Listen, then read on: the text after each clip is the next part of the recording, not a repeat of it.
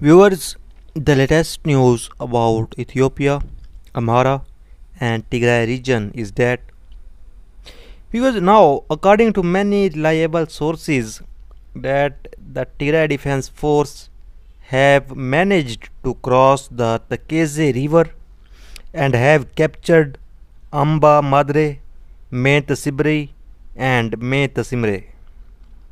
There's many pictures reportedly shared from Met Sibri which you can see on your screen and according to many reliable sources Tigray Defense Force captured at least 3 D-20 artillery pieces and a Type 89 APC during this war.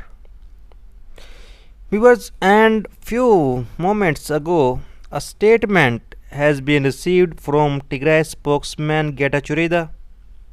In this statement, he said that I am currently in Alamata as Tigray Defense Force has taken Alamata under its control after a heavy fight. And a picture of Tigray spokesman Getachew Reda is also shared that you can see on your screen.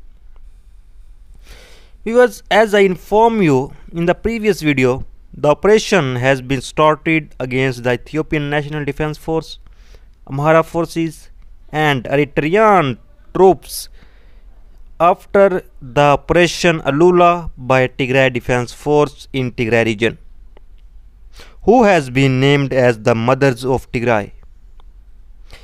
Because and I have told you that Alamata, Korem are now under the control of Tigray Defense Force.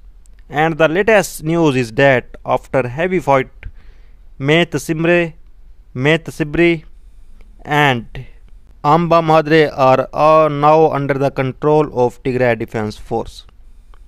So today we were receiving reports from many sources that heavy war between Tigray Defense Force and Ethiopian National Defense Force soldiers was going on in Met Sibri and Met Simre.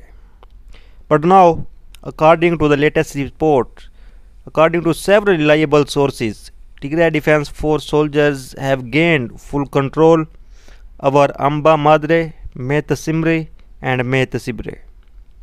And I also shared a video about what you can now see on your screen. In this video, you can see that thousands of people celebration on roads after Tigray Defense Force took control on Amba Madre, Met Sibri and Met Simre.